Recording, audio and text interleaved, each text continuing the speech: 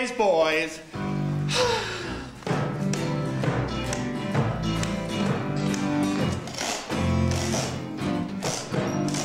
Beans and boys plus a cow. Aha! I've got it now.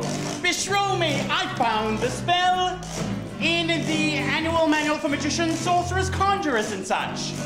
This will do, do very well. It doesn't take much. The straightforward touch, the good fellows, it helps. The bad, it vexes. By Merlin!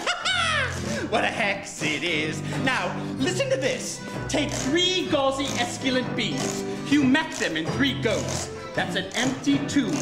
Let them dispersal like food coin. Oof. What the heck do you think that means? Elutum, dilutum, and emote into glorious, inchorious colors. Inchorious before your very eyes. Oof. Glorious, inchorious, not the least bit laborious, before your very eyes. Express the word, though absurd. Impress the snip, let it a pip. Express the word, though absurd. Impress the snip, let it drip. God, it's a pip. Pip, woo, a trip.